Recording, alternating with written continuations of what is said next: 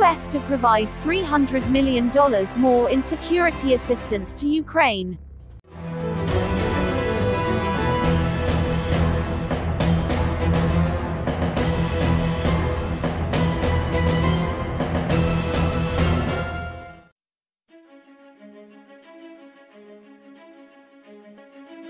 Here's what it includes. The United States will provide another $300 million in security assistance to Ukraine, the Pentagon announced Friday.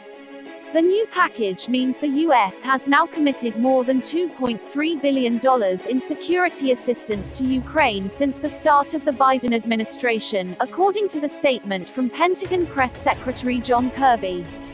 The new package includes Switchblade suicide drones, anti drone systems, armored vehicles, night vision equipment, ammunition, and more. Not all requests fulfilled, unlike presidential drawdowns, which pull from Defense Department stocks to provide to Ukraine. This package falls under the Ukraine Security Assistance Initiative, USAI, which means the weaponry and equipment will be procured from industry.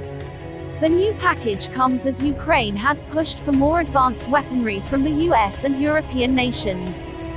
Much of the equipment provided to Ukraine fulfills those requests, but the US has not acquiesced to some of the biggest requests, such as aircraft. The statement on security assistance is an unusual departure from past practice, in which the Pentagon and the administration have been discreet about the equipment provided. This time, the Pentagon laid out in some detail the systems and equipment that Ukraine will receive.